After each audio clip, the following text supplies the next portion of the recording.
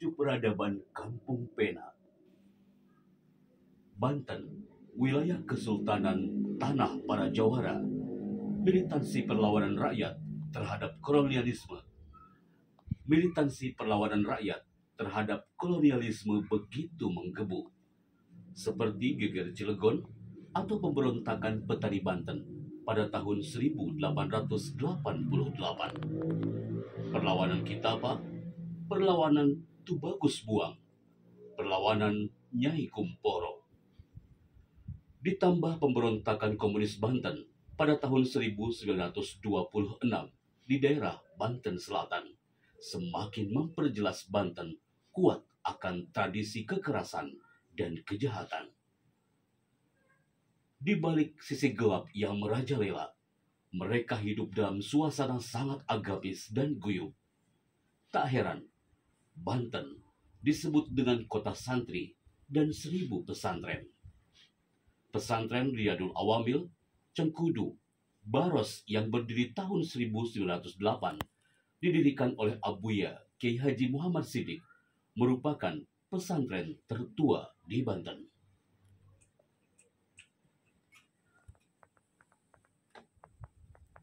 Perjalanan suci Rifai kecil atau Lilip bersama ayahanda tercinta Abah Kosod Mansur bermula dari keinginan mulia sang putra terbaik Gintung yang saat itu keinginannya hanya ingin menjadi seorang kiai.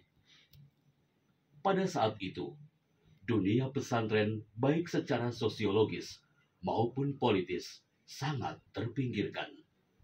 Dianggap tidak mampu menjawab tantangan zaman, sehingga kebanyakan orang memalingkan diri dari dunia pesantren yang identik dengan kekumuhan dan ketertinggalan.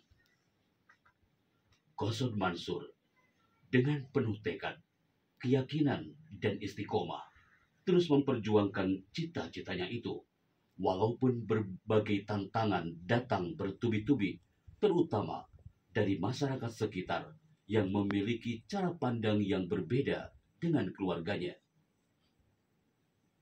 Masyarakat masih fobia dengan hal-hal baru karena suasana dan trauma imperialisme masih tertanam dalam kehidupan sosial masyarakat.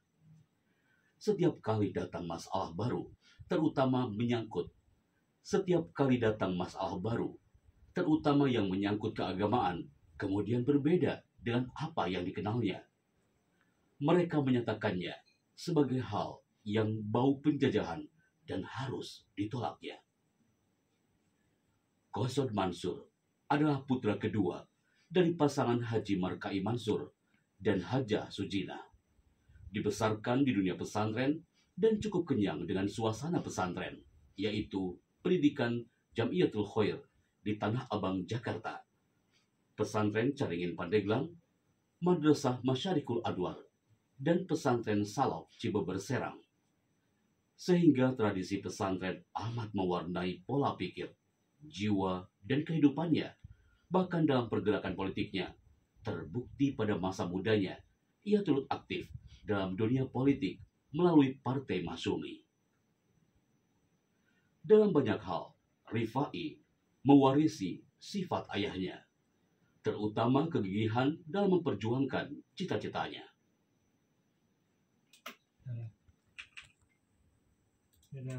Itu Khoir di Tanah Abang, Jakarta. Putra kedua dari pasangan Haji Markai Mansur dan Hajah Sujina.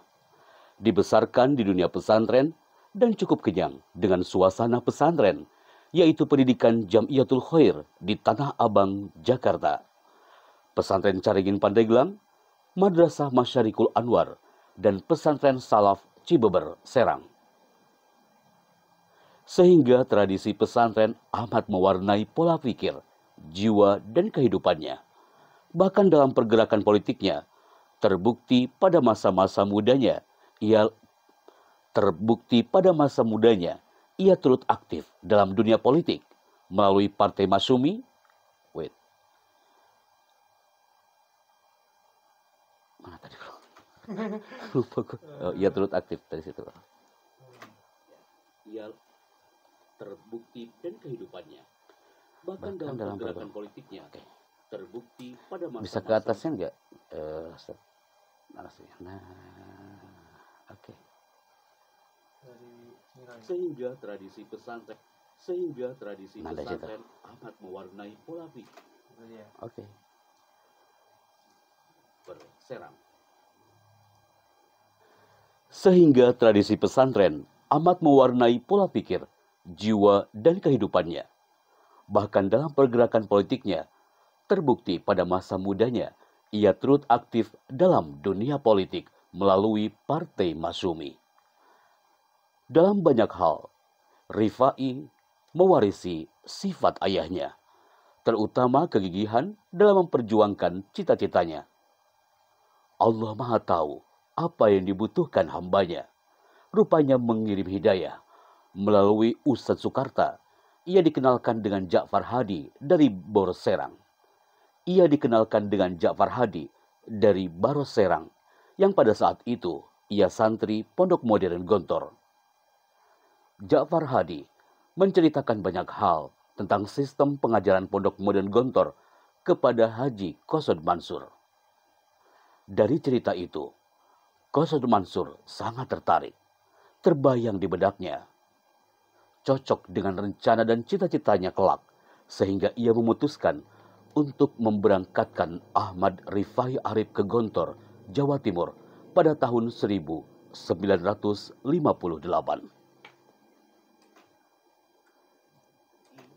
Mewarisi sifat mewarisi, mewarisi Rifai? Masumi.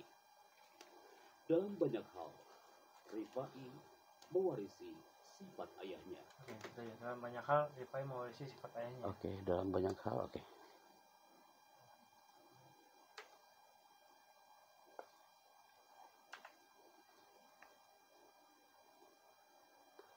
Dalam banyak hal, Rifai mewarisi sifat ayahnya. Ini apa tiba-tiba. Rifai mewarisi sifat ayahnya. Terus, Berangkat untuk memberangkat nah, untuk memberangkatkan. Oke.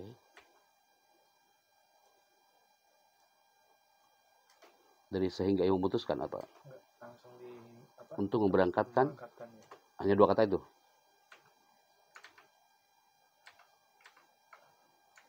Sampai ya. Nah, untuk memberangkat ini aman? Sebenarnya aman. Ini kita potong di sini. Oke. Ini naik-naik gitu. Nggak tahu. hingga ia memutuskan untuk memberangkatkan Ahmad Rifai Arif ke Gontor. Oh ya. Oke. Ini sekarang ini Terus? ya. Apa namanya?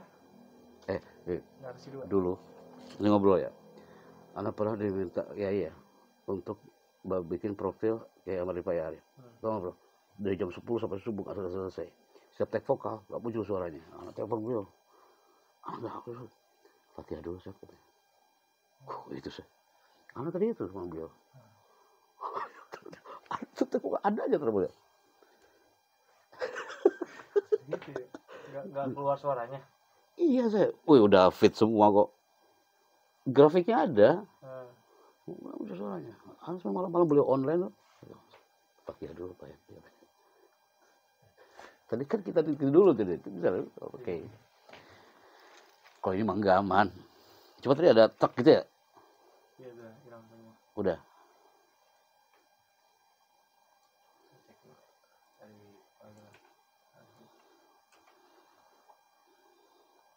Hal yang bau penjajahan dan haruskan untuk memberangkatkan Ahmad Rifai Arif Tadi agak salah di mana tuh ya? Tadi rupanya mengirim hidayah yang baros, Tat. melalui Ah, Ustadz Soekarta. ya. gue bacanya bukan baros. Oh ini ya.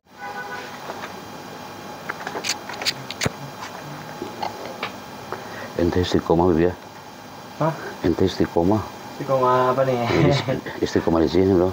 ya, alhamdulillah begitu.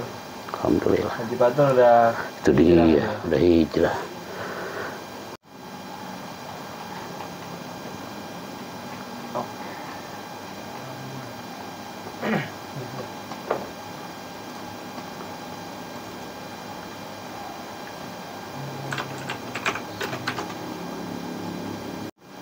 Ini, itu ya. Oke. cepat. Bismillah.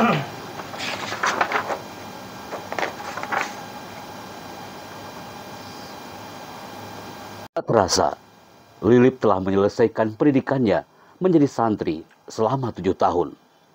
Karena di kelas 4, Lilip pernah jatuh sakit yang menyebabkan dirinya harus menunda satu tahun. Di pondok modern Gontor, Rifai dikenal sebagai santri yang cerdas.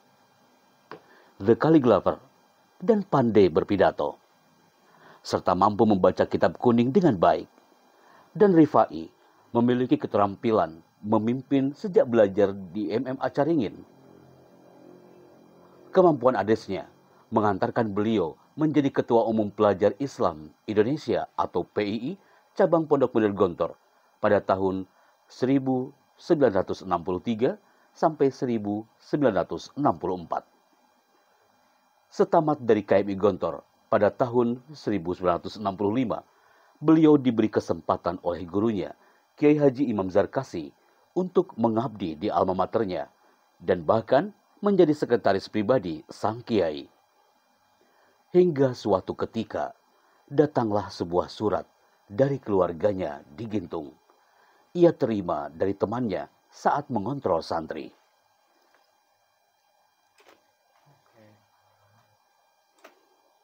Berlalu begitu cepat. Tak terasa, Lilith telah menyelesaikan pendidikannya menjadi santri selama tujuh tahun. Karena di kelas 4, Lilith pernah jatuh sakit yang menyebabkan dirinya harus menunda satu tahun. Ahmad Rifai tamat dari Kuliatul Muallimin Al-Islamiyah, Pondok Modern Gontor pada tahun 1965 dan kemudian beliau mengabdi selama dua tahun atau wait. dan kemudian beliau mengabdi selama dua tahun atas restu kiainya. Sementara sang ayah menunggu dengan penuh kerinduan kapan Lilik bisa berkumpul bersamanya kembali untuk melanjutkan cita-citanya. Penantian ini selalu membisiki Kosod Mansur untuk segera datang ke Gontor menemui putra kesayangannya dan menyampaikan serta mempertegas kembali cita-citanya.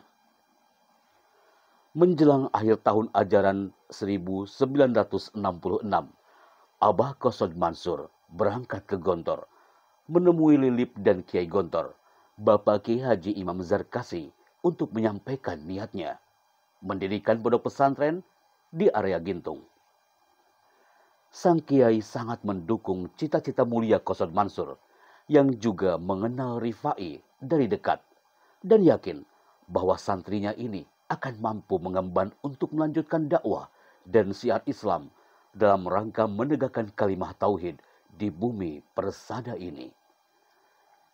Cita-cita tersebut gayung bersambut. Cita-cita tersebut gayung bersambut tangan dengan cita-cita besarnya – yaitu akan mendirikan seribu gontor di Indonesia. Tapi saran Kiai Zar, Lilip harus mengabdi satu tahun lagi. Pada saat menghadap dan meminta izin serta doa kepada kiainya untuk mendirikan pesantren, Lilip sempat diuji sang guru dengan satu pertanyaan. Apa tujuan kamu mendirikan pesantren? Lilip menjawab dengan penuh keyakinan walaupun setengah terkejut mendapatkan pertanyaan dari gurunya. Beliau mengatakan, Lilip menjawab, saya mendirikan pesantren untuk ibadah. Jawaban sederhana ini ternyata amat membahagiakan kiainya. Bagi beliau, jawaban tersebut sangat tepat dan benar. Karena apa pun yang dilakukan seorang muslim dalam hidupnya harus sesuai dengan tujuan hidupnya yang hakiki, yaitu ibadah. Ibadah adalah konsep hidup yang ideal bagi seorang hamba Allah jika ingin jika ia ingin mencapai hakikat kehidupan. Kedekatan Ahmad Rifai dengan guru dan kiainya, doa yang mengalir setiap saat, mengiringi sepak terjangnya, mengiringi jalan pikirannya, mengiringi perkembangan dan perjuangan dalam mendirikan pondok pesantren Dar El Kolam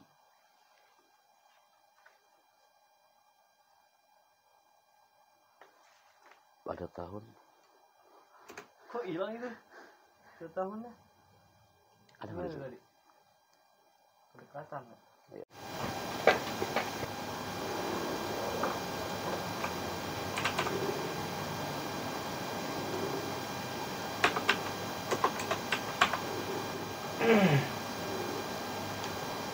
Tahun 70-an, guru tercinta Ki Haji Imam Zarkasi datang berkunjung ke Gintung untuk mendukung, mendorong, dan berdoa untuk perjuangan sang murid tercinta. Pada saat itu, Gintung adalah sebuah kampung kecil yang terletak di tengah pesawahan yang membentang luas. Kunjungan gurunya yang bijak menambah semangat Lilip untuk memperjuangkan harapan dan cita-cita besarnya. Kiai Haji Imam Zarkasi berdoa dengan khusyuk dan penuh keikhlasan untuk Lilip. Dengan harapan, semoga pondok pesantren Dar El Kolam dengan MMI-nya bisa maju membangun masyarakat dan melanjutkan estafet perjuangan Rasulullah Shallallahu Alaihi Wasallam dalam rangka menegakkan kalimat tauhid serta mendapat ridhonya. Setelah memberi tausiah, dan sang guru kemudian mengelilingi area pondok yang terdiri dari rumah dan dapur tua keluarga Haja Pengki dan keluarga Kosot Mansur. Sambil terus memberikan dukungan dan semangat kepada santrinya Lilip yang dikenalnya dengan baik. Kiai Zarkasi kemudian berjalan ke sekitar pondok yang masih dalam bentuk sawah. Dan ia memandang pondok dari kejauhan. Mungkin beliau berpikir tentang kemungkinan perluasan areal pondok.